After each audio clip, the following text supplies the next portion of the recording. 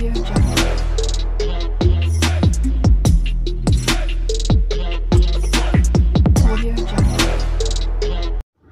राधे, जय माता दी। दोस्तों, कैसे हैं आप सभी? उम्मीद करती हूँ, आशा करती हूँ आप सभी अच्छे होंगे, स्वस्थ होंगे, मस्त होंगे।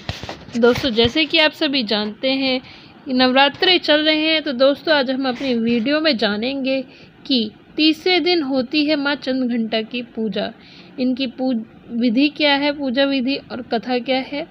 दोस्तों, वीडियो स्टार्ट करने से पहले एक बात बोलूँगी, अगर आप हमारे चैनल पर नए हो तो सब्सक्राइब कर लीजिएगा विद बेल के साथ। माँ चंद्रघंटा का स्वरूप सौम्यता एवं शांति से भरापूर होता है। माँ चंद्रघंटा और इनकी सवारी शेर दोनों का शरीर सदैव ही सोने की तरह चमकता है। चैत्र नवरात्रि के तीसरे दिन दुर्गा माँ के चंद घंटा रूप की पूजा की जाती है। नौ दिनों तक चलने वाली नवरात्रि के दौरान माँ के नौ रूपों की पूजा की जाती है। माँ चंद्र घंटा राक्षसों का वध करने के लिए जानी जाती हैं। मान्यता है कि वह अपने भक्तों के दुखों को दूर करती हैं, इसलिए उनके हाथों में धनुष, त्रिशूल, तलवार और गदा होती है। देवी चंद घंटा के सर पर घंटे के आकार का अर्धचंद नज़र आता है। इसी वजह से श्रद्धालु उन्हें चंद घंटा कहकर बुलाते हैं। जानिए, नवरात्रि के तीसरे दिन की पूजा विधि, व्रत, कथा क्या है? पूजा विधि, नवरात्रि के तीसरे दिन माता दुर्गा के चंद घंटा स्वरूप का विधि विधान से इस मंत्र, ओम देवी चंद घंटाए नमः का जाप कर आराधना करनी चाहिए। इसके बाद माँ चंद घंटा को सिंदूर अक्षत गंध धूप पुष्प और अर्पित आदि अर्पित करें। आप देवी माँ को चमेली का पुष्प अथवा कोई भी लाल फूल अर्पित कर सकते हैं।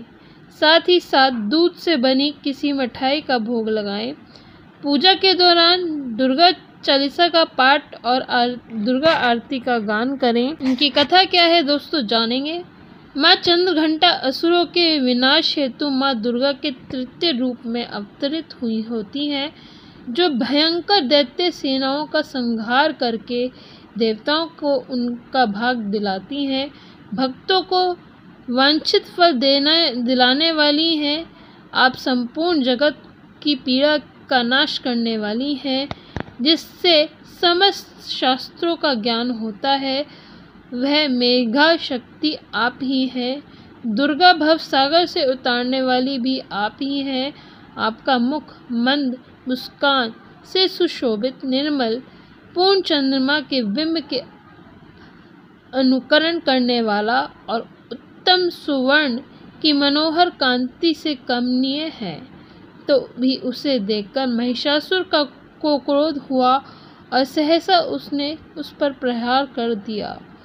यह बड़े आश्चर्य की बात है कि जब देवी का वही मुख क्रोध से युक्त होने पर उदय काल के चंद्रमा की भांति लाल और तनी हुई भावों के कारण विकराल हो उठा, तब उसे देखकर जो महिषासुर के प्राण तुरंत निकल गए।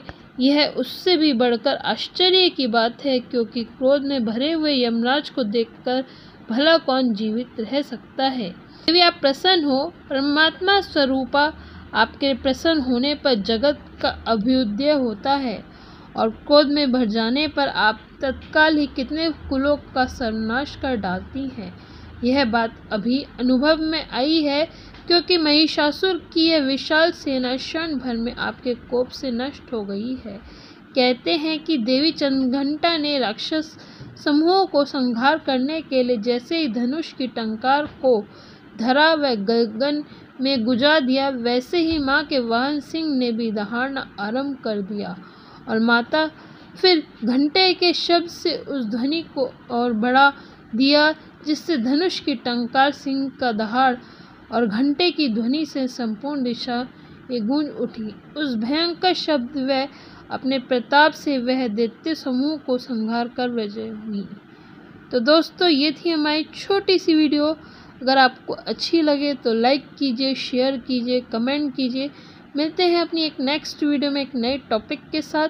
तब तक के लिए खुश रहिए, स्वस्थ रहिए, मस्त रहिए। राधे राधे जय माता दी।